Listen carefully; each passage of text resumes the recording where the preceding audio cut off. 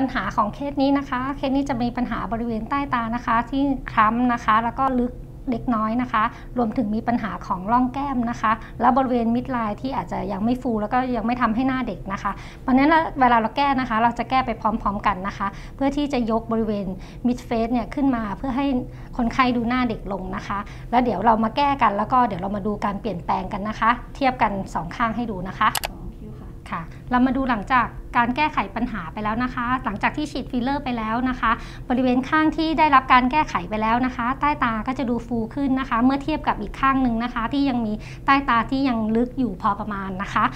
ในส่วนนี้เนี่ยที่เราแก้ไขปัญหาใต้ตาเราจะยังได้ส่วนของร่องแก้มไปด้วยนะคะ บริเวณหน้าแก้มเนี่ยก็เพิ่มขึ้นนะคะ